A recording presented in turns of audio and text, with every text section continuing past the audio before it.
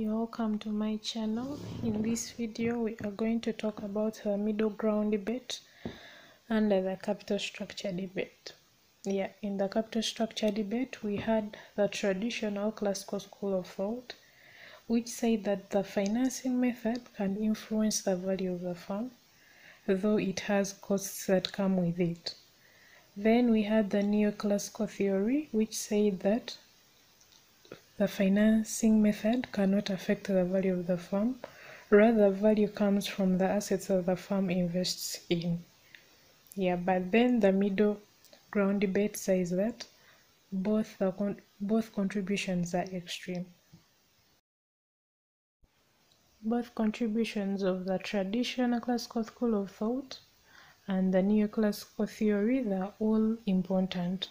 The financing decision is important and the investment decision is important.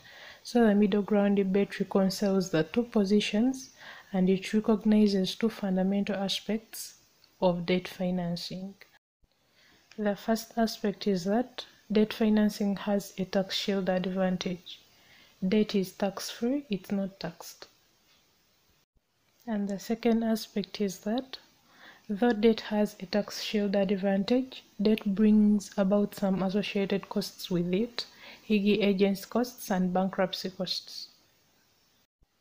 Agents costs refers to the increasing cost of debt by implementing debt covenants by debt holders.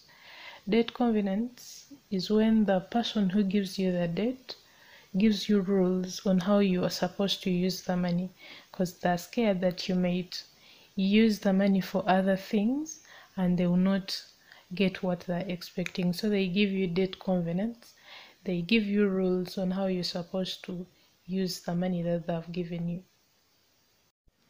Bankruptcy costs occurs when the firm is using more of debt than equity.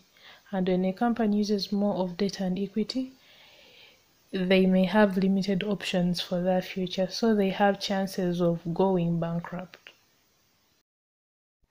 And that was all about the middle ground debate. It reconciles the two positions of the traditional and the neoclassical theory.